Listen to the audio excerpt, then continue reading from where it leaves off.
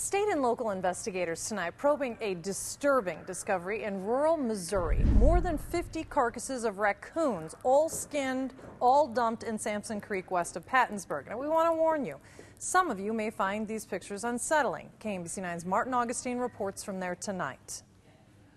Someone living not too far away from this bridge over Sampson Creek in rural Daviess County first noticed the carcasses in the water, but because the creek is frozen, it was hard to tell precisely what they were. For those first people getting a look at the carcasses, it appeared to them these may be young pigs. Kid riding through on his four wheeler noticed them. That boy telling farmer Kyle Cornett, who got a look at the carcasses before the ice formed, and it was awful. Oh, it was horrendous. It was it was bad. I've been around a lot of things and it stinks.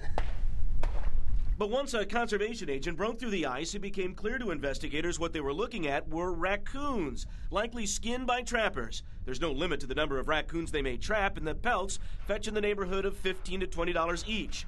But what they did with these carcasses now being pulled from the water, this is illegal. If caught, whoever did this could face expensive fines. What's more, the decaying raccoons could potentially foul the water, possibly killing fish and maybe ruining water used by livestock in the area to drink.